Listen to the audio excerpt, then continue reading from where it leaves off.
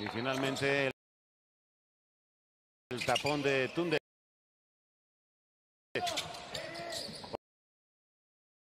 Poniendo la pelota en juego. Por cierto, con esa camiseta.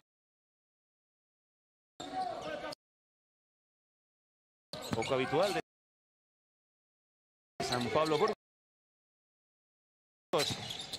Víctor Benítez, la bomba de Benítez se convierte en bandeja.